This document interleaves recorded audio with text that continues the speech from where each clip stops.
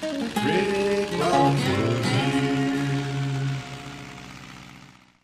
YouTube, this is Rick Rawlings and welcome to another edition of Let's Play Wings Over Flanders Fields.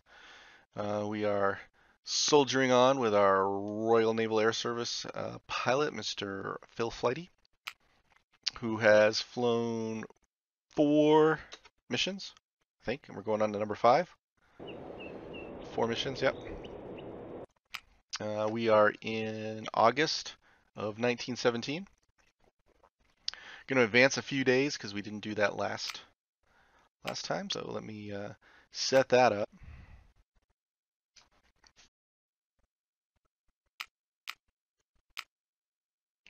All right, here we are at August 5th, 1917. Um, also, we're taking, I took the second flight of the day, so we're not always doing these morning flights. So it's going to be uh, just after lunch, probably a tin of sardines and a little bit of biscuit. We'll be on our way. Let's take a quick, oh, while we were doing that, I uh, got notification of the first airplane landing on a ship. So we got the birth of the, or taking off from a ship, birth of the aircraft carrier, and also uh, the arrival of the Albatros D5. So now we got that to contend with. So here's our flight sub-lieutenant, Philip Flighty. Uh, since June he enlisted, it's currently the 5th of August. Three confirmed kills, one medal, which I don't even remember what the medal. What was the medal? Oh, uh, was that the military? Was that military cross? So we got the military cross. Uh, let's see what we got. Looks like one, two, three, four, five, six pilots maybe going up, and uh, got a, almost a full complement of pilots. Somebody in the one of the forums was talking about they got stuck with a, a plane in that they weren't planning to have in the squadron. If you come to the inventory workshops, you can actually I'm not sure if there's something that prevents you from doing that, but I think in almost all cases you can actually cycle through, just click on this, and it will cycle through the different versions of your plane. Maybe at some point we'll uh, we'll give ourselves the two gun one just to see what that's all about. It's gonna say we're okay. Yep. So let's head over to the briefing room and find out what the commanding officer has in store for us today.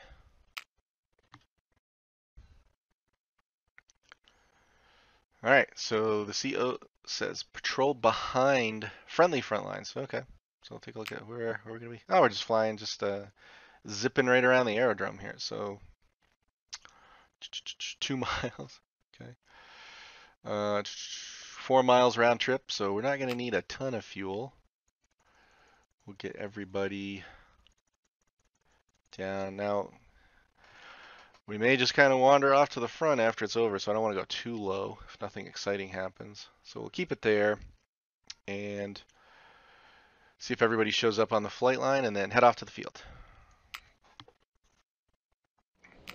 All right, here we are on the field with the weather looking charming as always. I think I mentioned last mission that there is a, a procedure that you can do to start up the engine. I pretty much immediately forgot what that was guess I really didn't even look it up. So we're just going to go with the old E button. And I don't think our wing would wait for us anyway. Just a quick check of all our control surfaces, which appear to be moving freely. And looks like it's our turn to roll. So full throttle.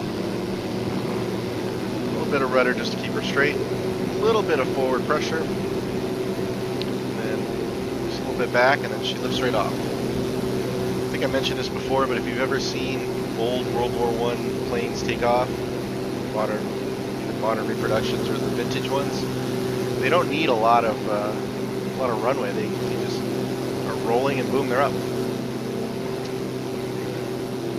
Take a quick look and make sure we are not immediately being attacked. So I'm going to go ahead and lean my mixture. Too much. It's, it's real. Tell you what, it's good, good, good, good off. So, careful about that. You'll notice we have uh, ailerons on all three wing surfaces, which I think is what helps give such snappy maneuverability. And the other thing about the, the triplane was one of the reasons for the three wings was to improve visibility. So if you've ever flown the pup or the camel, uh, it's it's really hard to look up because you have this giant wing in front of you. In fact, you may be aware that the camel has cutouts in the wing. But by having the three wings, the wings are all much narrower, chord front to back, and that gives you tremendous visibility without sacrificing lift maneuverability. So the triplane was not originally all about trying to get this really lifty plane. It was trying to get basically a, a Sopwith pup that you could see what was going on around you better. And did a remarkably good job. So since we're just a few miles away from our patrol area, um, just gonna, gonna gather up with everybody and bring you back should anything happen. It could be a quiet, quiet patrol if he comes back this way, but we'll see.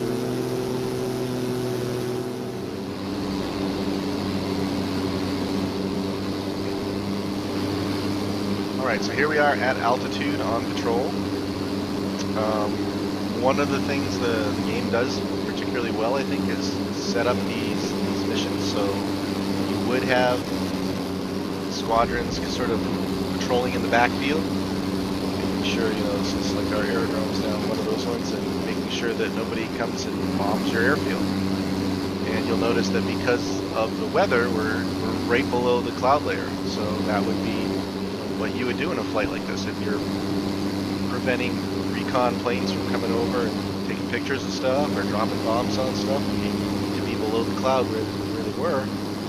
Otherwise, if you're above the cloud layer, they could just fly under you and you never even see them. So it's a pretty nice setup for the mission.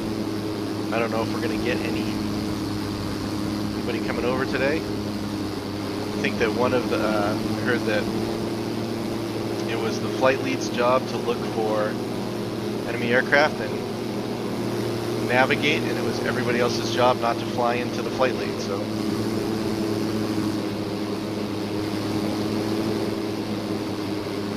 That's what you gotta do sometimes. It's just practice formation flying, which I suck at.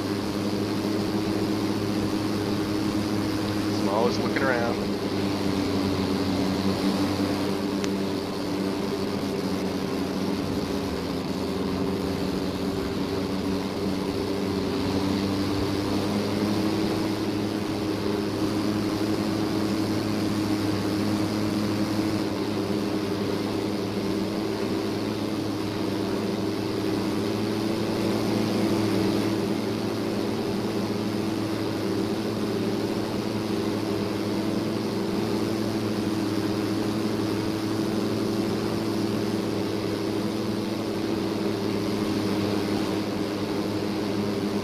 You will see it, so it is interesting. If you watch the, if you can see the planes blip, you'll see the little oil come out of them. I don't think they're actually regulating their speed that way. I think that's, I don't know. It's hard to say. If I go full out and I'm trying not to overtake them, I would be flipping constant. So I think it's a combination of throttle and flip, at least for effect. But it's nice. It's nice. It's nice to see that little extra puff of burned oil and fuel come out of there. They blip the engine. You can even hear it. I don't know if you just heard it, but.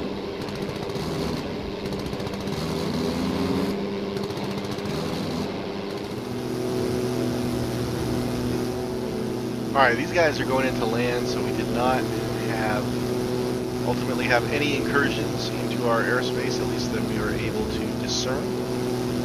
But before we go in, let's do uh, let's take a little look at the triplane's handling and how it might be different from some of the other planes like the Albatros or the Spad. So, got a rotary engine, which is means the engine is kind of like just right on the front of the plane in a little chunk, and it spins. Theoretically, that makes right-hand turns sharper than left-hand turns, and the nose pulls down, and in left-hand turns, the nose naturally pulls up. that that happens. So that's a real thing, right? So if I just turn this way, my nose does tend to climb somewhat. I don't think it's as, and if I go this way, my nose tends to descend somewhat. I don't think it's as pronounced as it probably would have been in real life, but there is that effect there. Um, I don't do a lot of fancy maneuvering in combat. I think even the Red Baron, who was not considered to be a fantastic pilot per se, eschewed a lot of you know like uh, technical maneuvers in combat. But we can, you know, we certainly some of them I'll do. Probably we'll do a Chandelle, which is kind of like a climb and a turn. So you try to gain altitude while you're turning. And I've, you see me do that, especially in the Spad, to try to get away from albatrosses, kind of get on top of the fight. Doesn't always work. Depends on what your, you know, the relative starting energies of the plane are. If you're already going kind of slow and they're going pretty fast, they're still going to be able to overtake you. Some albatross will have a better climb rate than the Spad, despite the Spad's bigger engine. That's kind of a, a Chandelle. Um, another thing you could do, I suppose, is uh, do a barrel roll if you want to throw off your attacker. So you're going to climb a little bit, and then you're going to do a little rotation, and then bring the other rudder around to come out. Like that. So you do a little corkscrew through the air.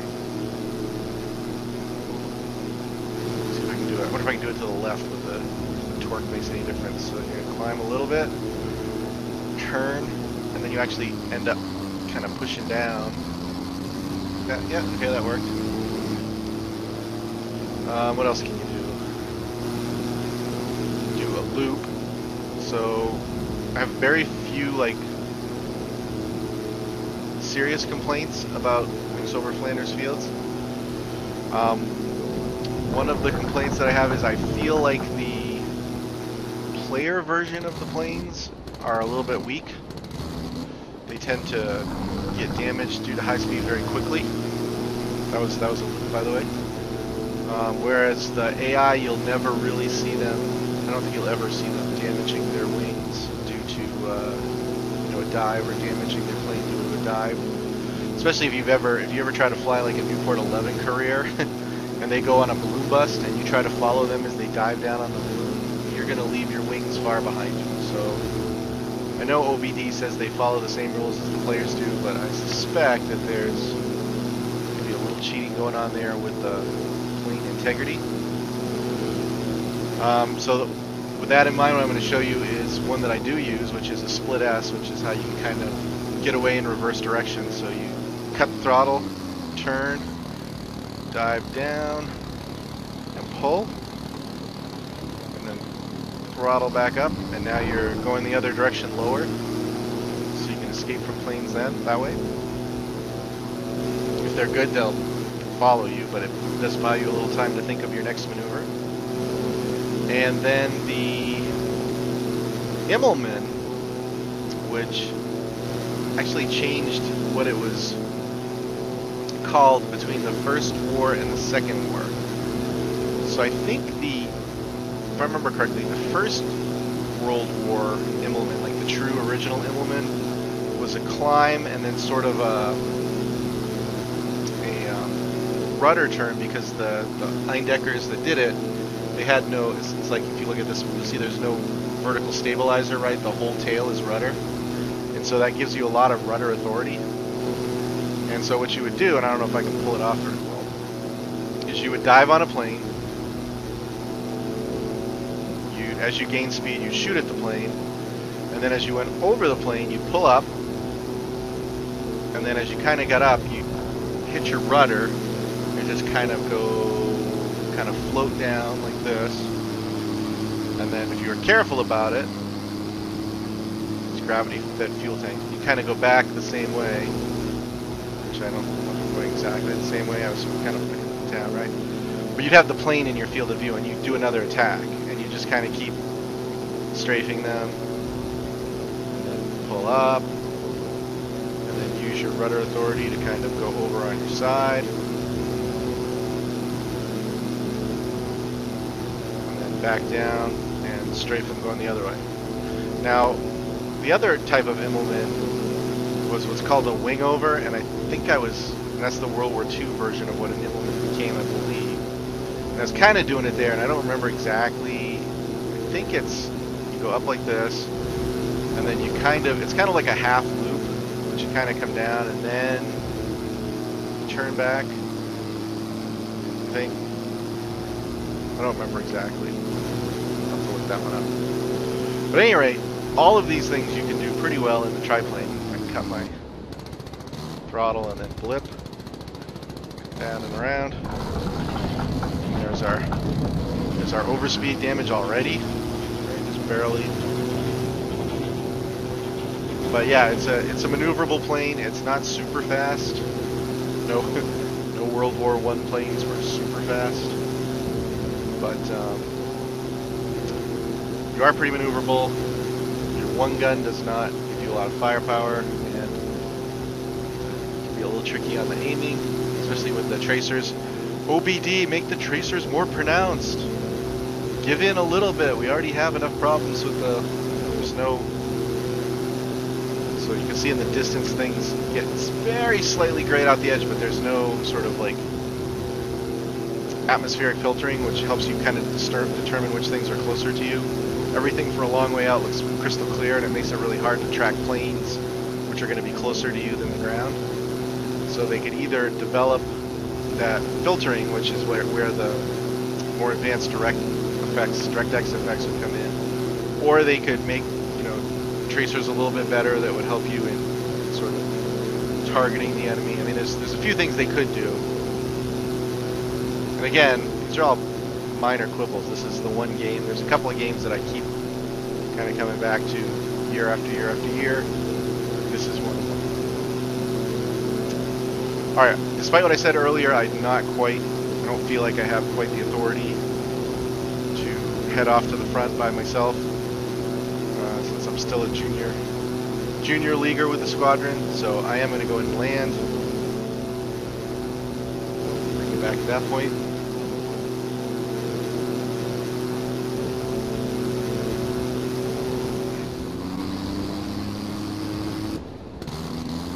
Another thing I was asked about in the comments of one of the videos is do I have the other um, OBD product, which is Wings Over the Reich? And I do. And it's very similar. It's got the same really strong campaign. It's got some pretty compelling AI. Um, the plane set and the campaign are kind of limited right now to Battle of France and Battle of Britain. Um, but it's it's all the you know the good things that you like about OBD product in terms of it's really the campaign and the, the feeling of being in the war and the you know AI that will challenge you if you're not paying attention. Uh, but I just don't, I'm just not as enamored with World War II planes as I am with World War One. World War One is like you're these fragile wooden canvas crates that you're always flying on the edge of stalling, just barely keeping it together, trying to get a solution on the the opposite plane, and uh, they're trying to do the same to you, and you can see the you can see the pilot in the other plane.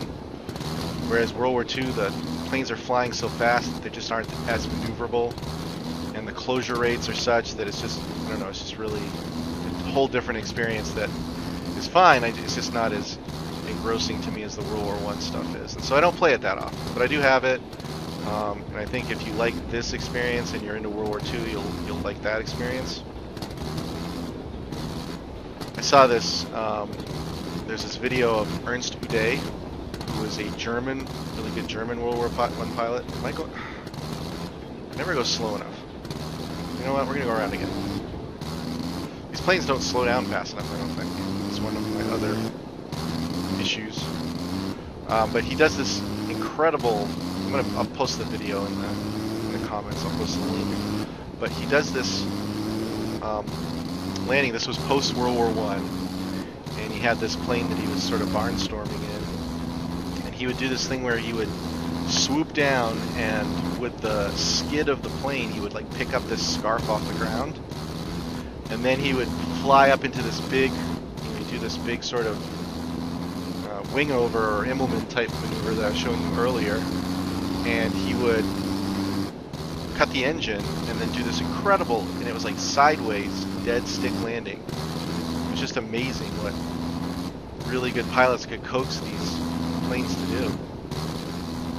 Whereas I can't even seem to lose speed to land here, so shut up and see if I can get us in without hitting a tree or overshooting the runway too much.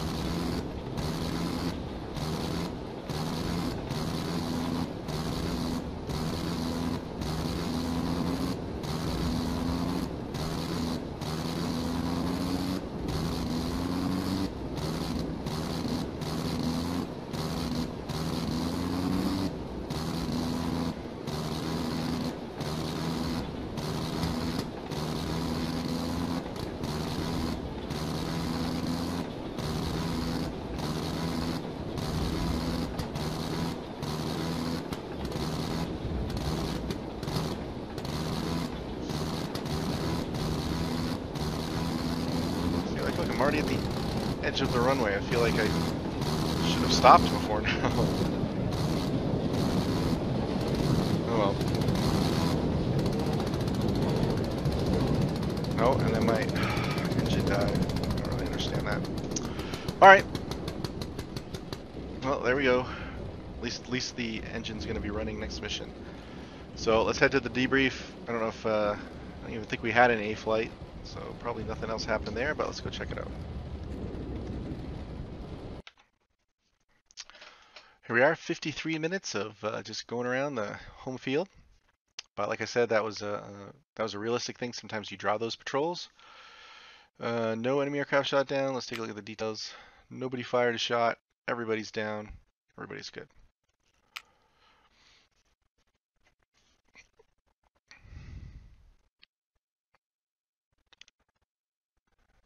New day. And there we have it. There's flight number five in the bag for uh, Flight Sub Lieutenant Philip Flighty. So hopefully you uh, enjoyed this short, but um, hopefully still somewhat interesting edition of Let's Play Wings Over Flanders Fields. And I look forward to seeing you next time. In the meantime, take care out there, and we'll we'll catch you later. This is Rick Rawlings.